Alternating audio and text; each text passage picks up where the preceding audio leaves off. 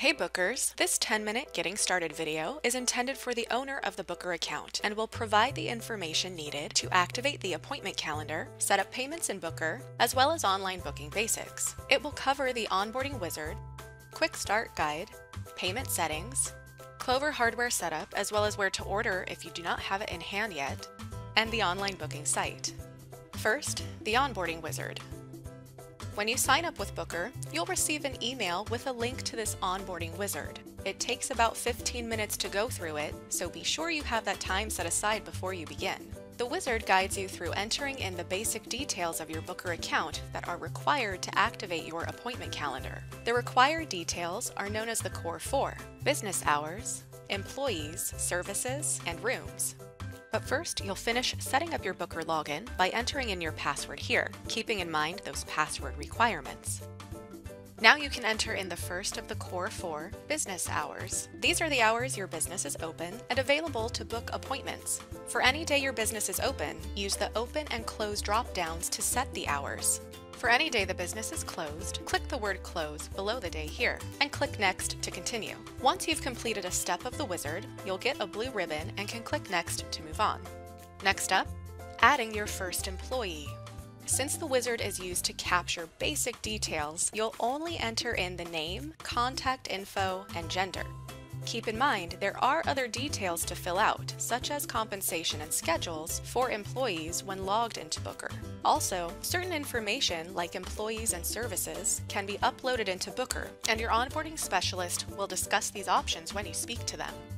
Once the first employee is added, you can enter in another. However, only the first one is required before you'll be able to move on to the next step of the wizard, which is adding your first service.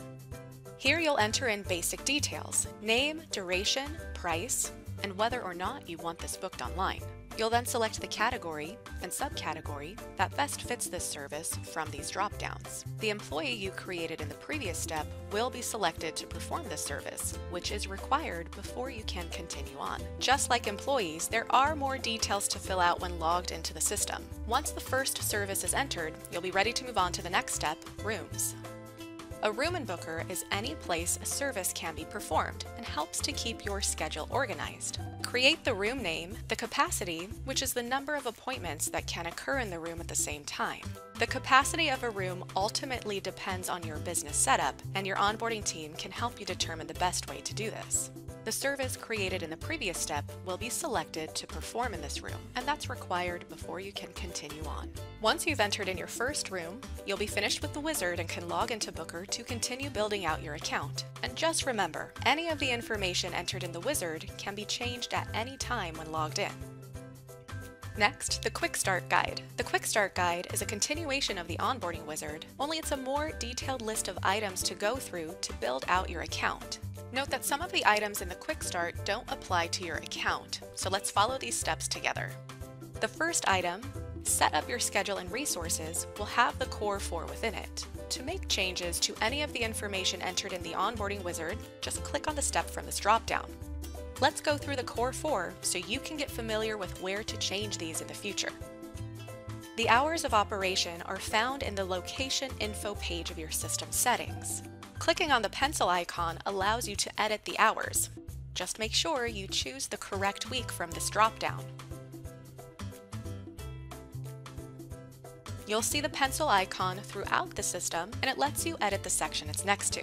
To get back to the Quick Start Guide, you can select it from the top of the settings list here or on the words in the upper right corner of your account.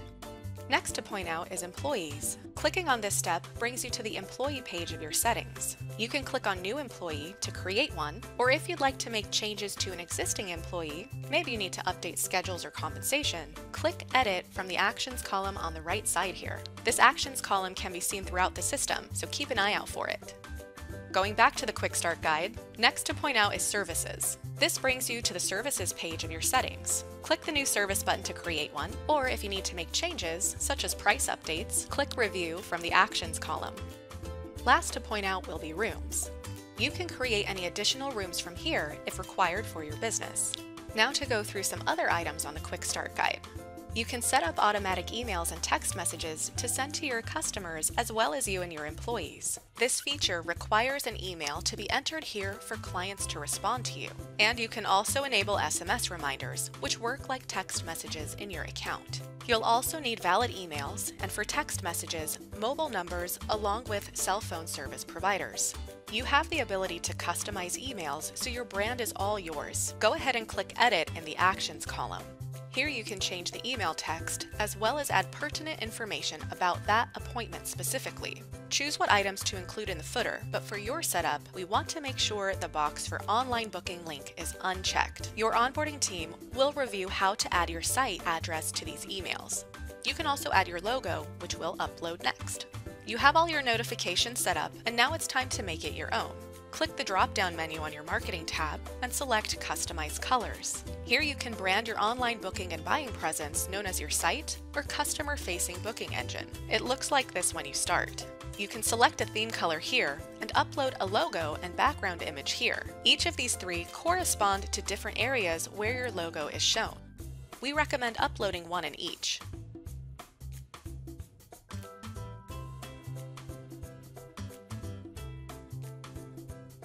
The background image can fill the screen, be fixed in one position on the screen, or tiled over and over on the screen.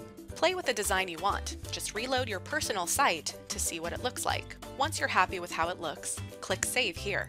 To link your online booking site to your business website, you can find your own personal site address under Online Booking back at your Quick Start Guide. You can customize the other settings here as well, which allows you to choose how you want your online booking site to behave. These settings will be covered with the onboarding team, but we'll call out a few options here. You can choose how close to the actual appointment time customers can book, whether it's an hour or 24 hours in advance. And you can also allow customers to select a specific staff member or even just a gender. You are almost ready to start taking appointments through online booking, but before you do, let's not forget your cancellation policy. When booking online, your clients will need to accept the cancellation policy to complete the booking. You can enter in your cancellation policy within system settings. From the Quick Start Guide, you'll see where to set up integrated marketing to grow your business. We're going to focus on a few differences here, as you have a brand new package with different functionalities. These steps allow you to set up your special discount offers, which is one of the quickest and easiest tools to help you brand your business. Next to cover is payment settings. From the Quick Start Guide, you'll see the item to set up your point of sale, and your onboarding team will assist with adding products to Booker and setting up any other hardware you may be using, like the scanner or cash drawer. But you can configure your sales and service taxes on your own easily. When you first get to this page, you'll only find sales tax and service tax, but with no applicable rates. So be sure to edit the tax types from the Actions column and enter in any necessary percentages for your locale here. Moving on to the Payment Settings page, found in the list of settings on the left. This page allows you to choose which payment types you'll accept in your account. Notice how some settings allow you to edit as the admin while some don't. Any setting without the pencil icon next to it needs to be changed by a Booker employee for security purposes, so be sure to let your onboarding team know if you want to make a change.